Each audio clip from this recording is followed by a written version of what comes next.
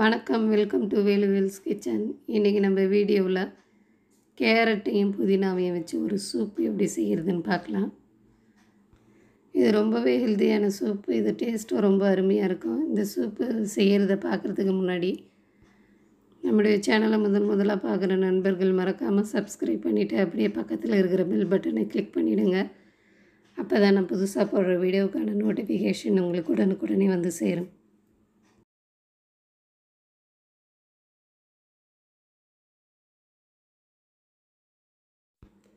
ஒரு குக்கரில் அரை டீஸ்பூன் நெய் சேர்த்துக்கிறேன். ஆயிலும் சேர்த்துக்கலாம்.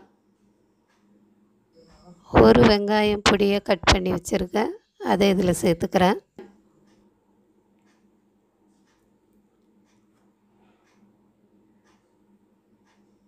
வெங்காயம் லேசாக வதங்கணும். அது வரைக்கும் கலந்து விட்டுக்கிட்டே இருங்க.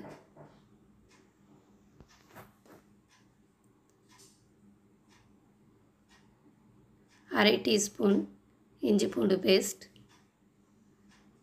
அதையும் இதில் சேர்த்துக்கிறேன்.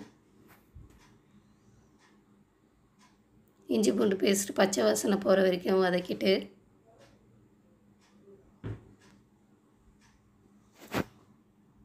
ரெண்டு கேரட் துருவி வச்சுருக்கேன். அதை இதில் சேர்த்துக்கலாம்.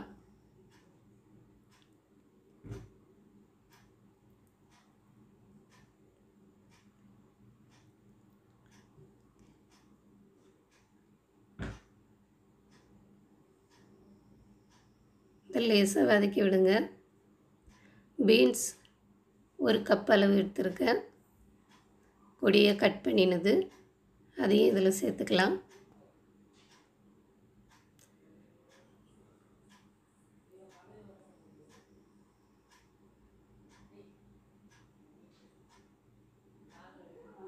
சேர்த்து கலந்து விட்டு இது கூடவே ஒரு கைப்பிடி அளவு புதினா சேர்த்துக்கிறேன். இங்கே பொடியை கட் பண்ணியும் சேர்த்துக்கலாம்.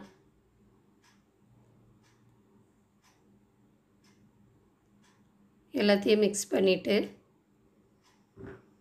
தேவையான அளவு தண்ணி சேர்த்துக்கோங்க. நான் நாலு டம்ளர் அளவுக்கு தண்ணி சேர்த்துருக்கேன். உங்களுக்கு எவ்வளவு தேவையோ அந்த அளவுக்கு சேர்த்துக்குங்க.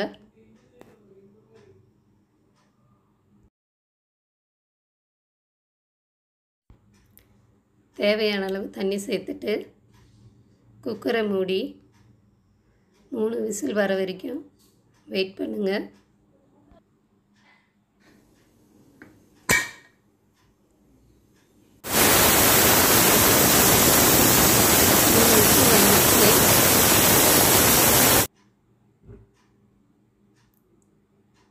அதுக்குள்ளே ரெண்டு டேபிள் ஸ்பூன் சோள மாவு எடுத்திருக்கேன். அதை தண்ணி விட்டு கரைச்சி வச்சுக்கலாம்.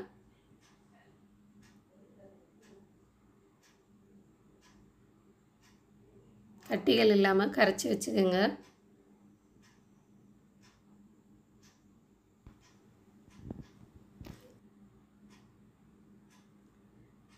இப்போ ப்ரெஷர் இறங்கினதும் குக்கரை ஓப்பன் பண்ணி பார்க்கலாம்.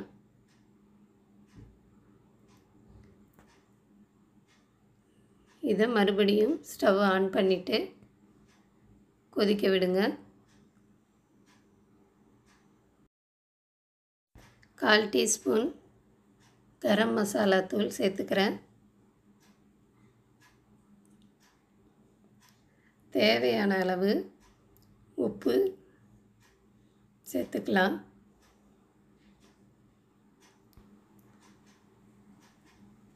எல்லாம் நல்லா சேர்ந்து கொதித்ததும் கரைச்சி வச்சேன் இல்லையா? சோள மாவு.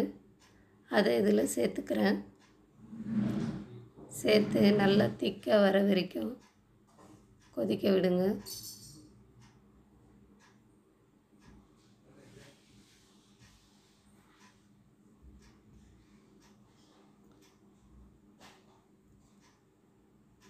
மிளகுத்தூள் ஒரு டீஸ்பூன் அளவுக்கு சேர்த்துக்கிறேன். இந்த டைமில் உப்பு செக் பண்ணிக்கோங்க. கரெக்டாக இருக்கான்னு. அவ்வளோதான் சூப்பு ரெடி ஆயிடுச்சு.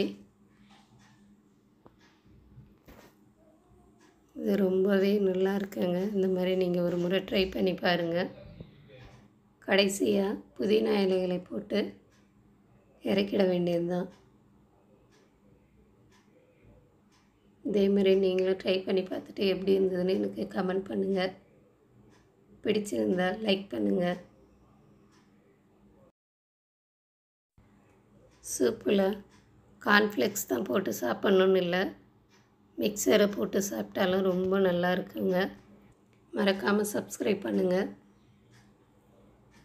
உங்கள் ஃப்ரெண்ட்ஸ் அண்ட் ஃபேமிலியோடு ஷேர் பண்ணி சாப்பிடுங்க. தேங்க்யூ